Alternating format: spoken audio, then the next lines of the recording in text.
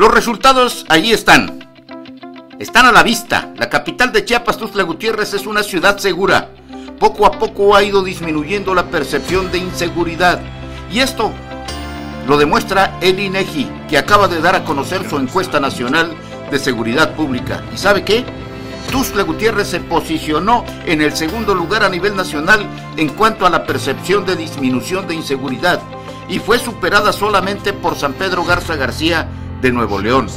Ha disminuido el 15% la percepción de inseguridad respecto al trimestre anterior de este año entre los chapanecos, o sea que las medidas que se han adoptado están dando resultados y el esfuerzo coordinado de las instituciones de seguridad y justicia federales y estatales y el gobierno municipal demuestra que en Tuzla cada día se trabaja.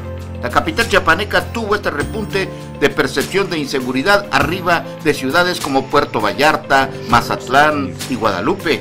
El INEGI hace un seguimiento trimestral del comportamiento de la ciudadanía en cuanto a la sensación de inseguridad por temor al delito, expectativa social sobre la tendencia del delito, entre otros.